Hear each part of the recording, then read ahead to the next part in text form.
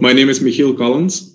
Uh, I work for CLEARink Displays as a, an applied physicist.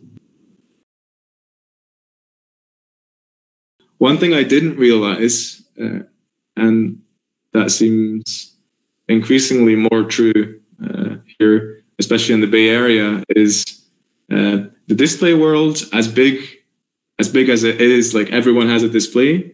The people actually working on display research all know each other. You need, yeah, you need a network. Uh, ePaper 2.0, which is our technology. I'm excited about it because I, I, truly believe that it can transform the way education works. Um, so if we can get uh, an ePaper 2.0 device in students' hands in high schools, they can they can learn on a tablet without damaging their eyes and still have interactive content.